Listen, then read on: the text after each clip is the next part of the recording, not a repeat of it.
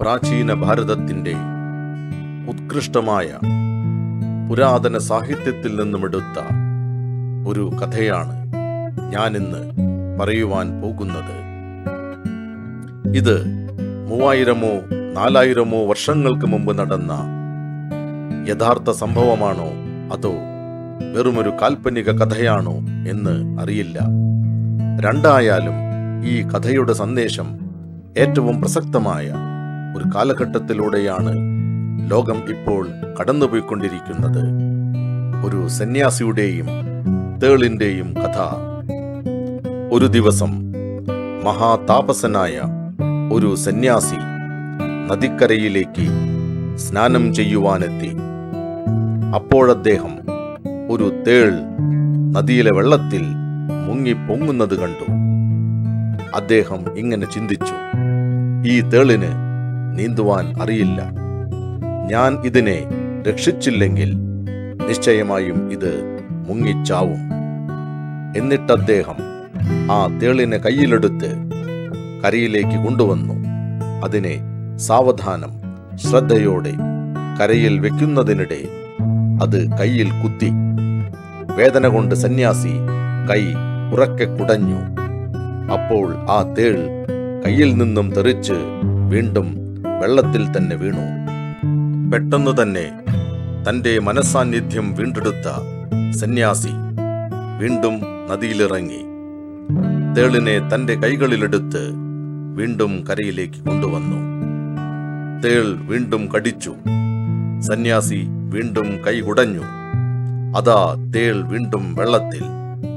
സന്യാസി വീണ്ടും വെള്ളത്തിലേക്ക് ഇറങ്ങി.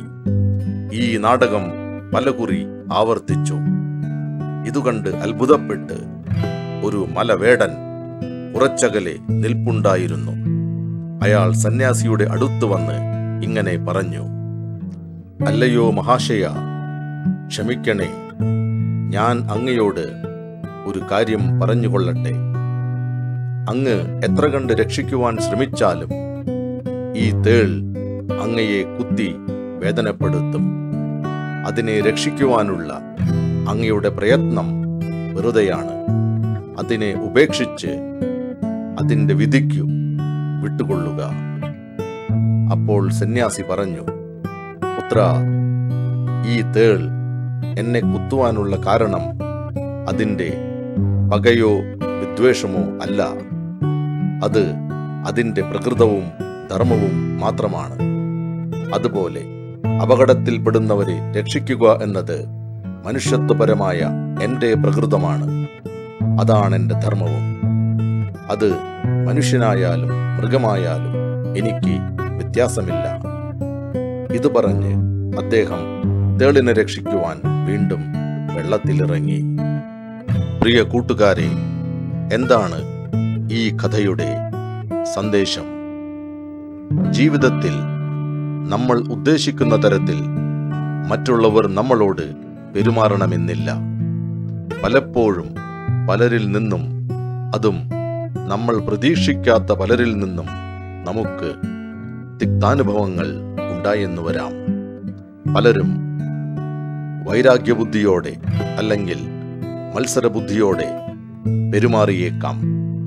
അതിന് പകരം വീട്ടുവാനോ തിരിച്ചടിക്കുവാനോ ശ്രമിക്കേണ്ട ആവശ്യം ഇല്ല.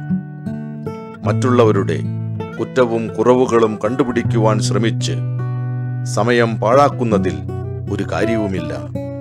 നമ്മൾ നമ്മുടെ സത്യസന്ധവും മനുഷ്യത്വപരവുമായ സ്വഭാവം വിടാതിരുന്നാൽ അത് മറ്റുള്ളവരെ പോലും ഇന്നല്ലെങ്കിൽ നാളെ നിശ്ചയമായും നല്ല വഴിയിലേക്ക് നയിക്കും.